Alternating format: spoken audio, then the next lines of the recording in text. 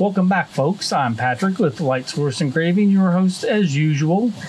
And today I have another episode for you, and this one is evol- revolving around patches.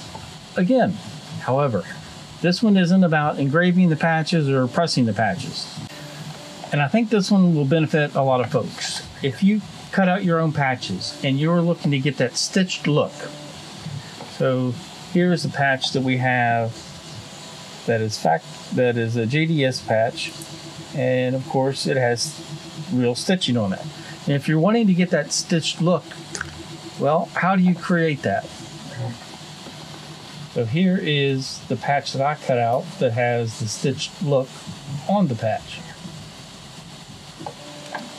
Well, we can do it in two ways. One is with Adobe Illustrator, two is within Lightburn.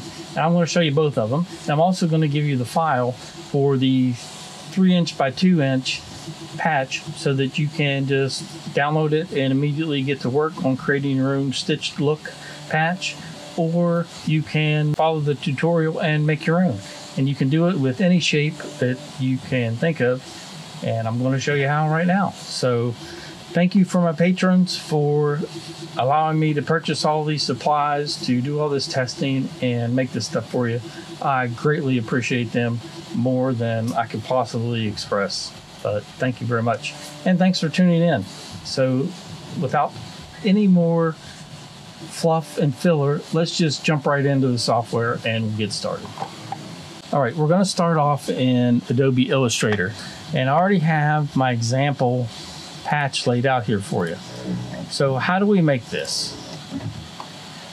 The first thing we want to do is make a rounded rectangle. So let's just go ahead and make our rectangle. You can make the radius whatever you desire. Then I'm just going to go up here to transform and unlock the aspect ratio. And three inches is approximately 76 millimeters. And two inches is approximately 51 millimeters. So we'll just go with that. And then we'll select our selection tool. We have our path selected. Now we're going to go to object. Then let's go to path. Offset path. Let's offset it three millimeters and we'll create ourselves another path here that is offset. And you can see there. And if you see how these are corners. What we can do is just re- redo that and go to object path, offset path, and we want our joins to be round. So make sure you select round. And then that'll show up rounded once we get to next step. So select both of your lines and let's bring them off of the white space. Just want to make sure we don't have any fill there. Then we can select our inner line. And if you're not happy with that radius, which uh, I wasn't, I'm going to give it a little bit of uh, more of a curve. Then we're going to go to our stroke menu up here. And the first thing we want to do is make it round and round. Then we're going to check our dashed line box. And with the dashed line box, you can see the live preview what it's doing. This was from, uh, not from my previous settings. Uh, yeah, it was. I used two and two, so it's closed at 1.985. So it's a two millimeter dash with a, almost a two millimeter gap. So we click off that and you can take a look and see what it looks like. And then you can adjust how these appear around the corners just by going back into your stroke menu and selecting whether you want it centered on the corners or offset. I chose centered last time. It uh, gave a nice look. And then again, we want to make sure we have round and round set for our cap and corner.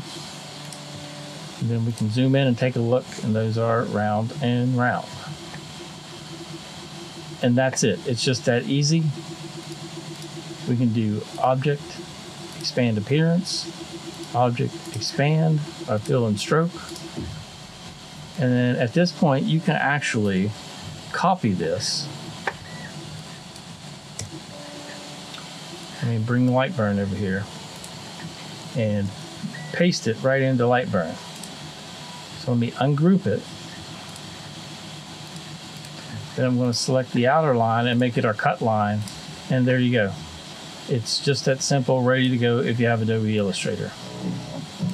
Then you can get started working on the rest of your design. If you don't have Adobe Illustrator and you want to use Lightburn, we have to do a similar process. However, this one's a little more involved. So I'm going to hide the red and then group these so they're all together. And I'm just going to make them a different color so we can hide them. All right, we have our red line again. So this is our cut line. And I'm not going to redo the cut line because uh, we didn't make it in Illustrator. However, when we copied and pasted, it didn't paste in at the correct size. So I just want to make that width 76 and height is at 51 so that is good to go. Now we do want to offset this. Uh, let's see we're going to offset it inward. We want round. And our offset distance is going to be negative 3 and you can make this or, or just inward 3 and you can make this whatever size you like uh, as far as how far you want your offset to be all right, and now we have our path. Now we need to create our own little stitch marks. So first thing we want to do is just make a rectangle. And it came in at uh, a different layer. I'm just going to make it red for now. And we want to give this a radius, but we want to first set it to what size we want it to be. In our previous example from Illustrator, we had a height of two millimeter and a width of two millimeter. Now that we have the correct size, oops, let me unlock the aspect ratio again, two, not 20, two.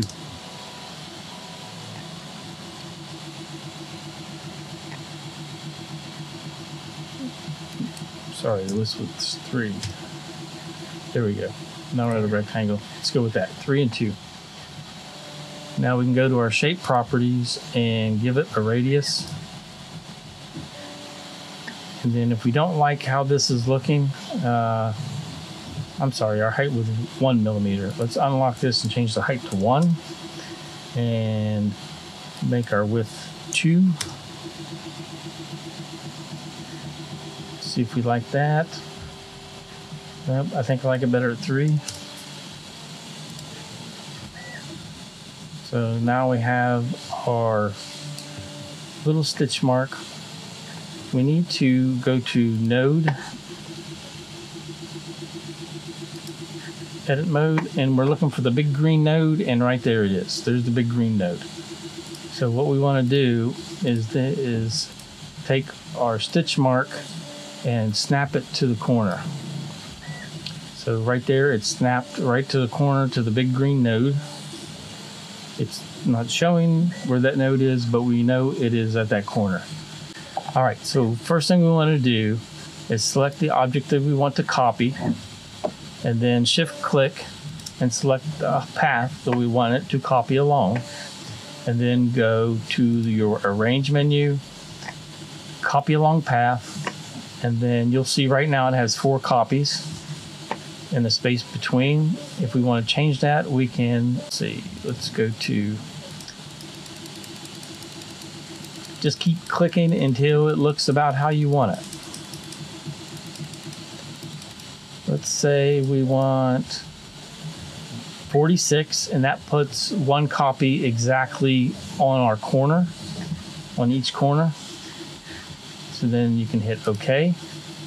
And now we can get rid of our line here. We do not need that anymore. Let's get rid of our path.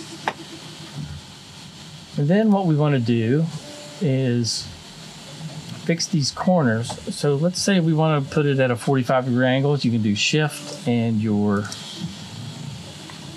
uh, comma key and then we can move that and make it look a little more rounded. And then with these, we just want to hit our comma key and make those vertical. So just go through and rotate those 90 degrees. Click each one to rotate. I'm going to rotate all these first.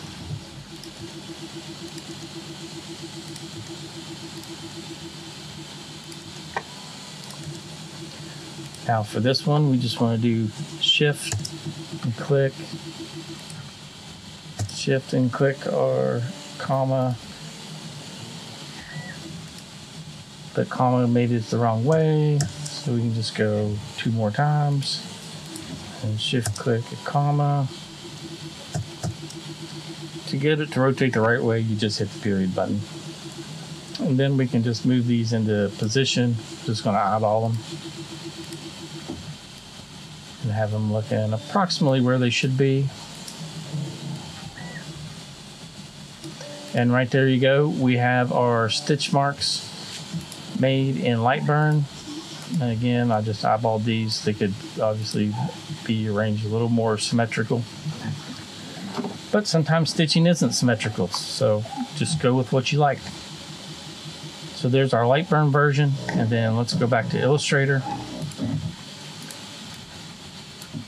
then we'll Control C and go back to Lightburn. Then I'm going to paste this in here. Select it and resize it to 76. Put it above so we can get a good look. Select it again. I mean, unselect it. Ungroup it. Select the outer one. I'm going to make it red. And you can see we have two different looks. All we have to do is make these a little bit smaller and we could have more closely approximated what we created in Illustrator. However, all you have to do is just run through that process again real quick with a smaller stitch mark and you can make the exact same pretty much the exact same stitch mark in Lightburn without having to use Adobe Illustrator. Now, if I want to make all of these black so we can compare, we'll just select them all, just put them on the black layer, and there we go. So we have two different versions of the same general stitching outline on the patches, and it's just that simple. All right, so what I'm going to do is save this file for you guys and put a link in the description so you can download this and you'll have it for yourself. And I might just go ahead and do another one that has the stitch marks a little smaller, more closely approximating the Adobe Illustrator version. And then you can try them both out and figure out which one you like the best. But that's going to be it for our software part of this tutorial. And now I'll just come back here to the main camera and say goodbye. That's it. I hope this helps you out at least. And you can use this to copy any object along a path in Lightburn. Don't just use it for stitching. You can use it to copy stars around a circle. Uh, Rich did a video, LA Hobby Guy, where he copied stars along a path. So check that video out and you'll have an additional reference to take a look at when you're doing the copy along a path procedure in Lightburn. But that's it for today. Thanks for my patrons. Don't forget to like and subscribe. I really appreciate the likes and the subscribes. Uh, you can even hit the bell, turn on notifications so you know when I release a new video or go live. I like to do live unboxings, so you'll see those crop up from time to time.